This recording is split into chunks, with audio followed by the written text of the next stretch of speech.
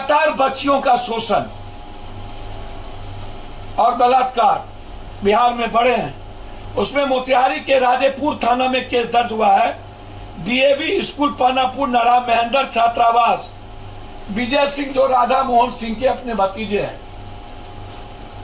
इन पर टीचर की बेटियों के साथ लगातार शोषण और दर्जनों बच्चे के साथ लगातार अर्धनग्न।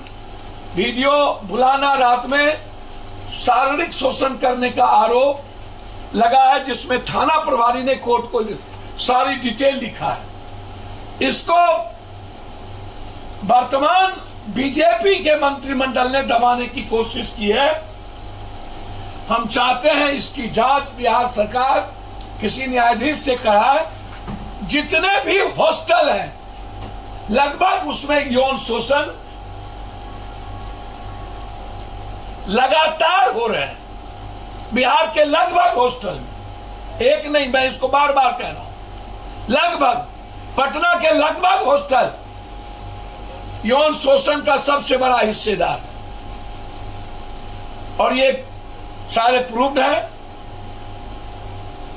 इसीलिए आज पूरे बिहार में इन ज़मीन, बालू, माफिया और यूक्रेन के बच्चों पर हुए हमले, जुर्म के खिलाफ और भारत सरकार के खिलाफ आक्रोश मार्च और पुतला धन है। संकल्प के साथ आगे बढ़े। संयुज के प्रस्तुत करता है city centre the complete multi brand men's wear showroom Subhash Chowk Darbhanga. ली एक सक्लूसिव शोरूम सुभाष चौक। और दैनिक कौमी तंजीम न्यूज़पेपर दरभंगा।